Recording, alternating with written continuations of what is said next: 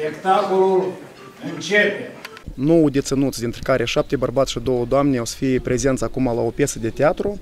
Scopul care mi l-am propus personal, împreună cu membrii echipei DIP, de a resocializa, de a organiza cât mai multe evenimente culturale, artistice, sportive și ne străduim împreună ca să resocializăm, ca oamenii să iasă în societate mult mai buni, cu o moralitate mai înaltă, cu credință în Dumnezeu și ne străduim pe metodele să să-i familiarizăm cu aceste aspecte. Selectați au fost de către administrația penitenciarului după cum respectă acte normative și legislația în penitenciar.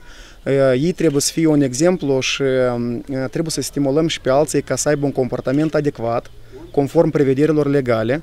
Altceva e un aspect că noi trebuie să le asigurăm pază, nu e atât de simplu și din păcate nu putem aduce tot penitenciarul pentru că nu avem nici sursă, nici mijloace pentru asta, dar e o metodă și de a promova comportamentul normal în penitenciare, adică adecvat conform legislației în vigoare. Am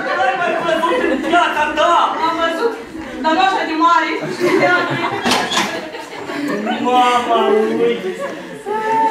Că plac, ești rugat să te iei cap, deci noi nu suntem la prima colaborare, am mers de foarte multe ori la ei și am prezentat și acolo spectacole, am mai participat în, în unele proiecte ale lor și uite că azi a venit ziua când ne vin cei de acolo deținuți să vadă spectacolul nostru aici, printre alți spectatori tineri și tinere care la fel i-am invitat e un fel de integrare în societate, pentru că după ce vor, își vor uh, împlini cele date de Dumnezeu, vor, vor, vor trebui să trăiască cu lumea de rând. Și noi le dorim doar binele și sperăm că după spectacolul nostru vor fi mai buni.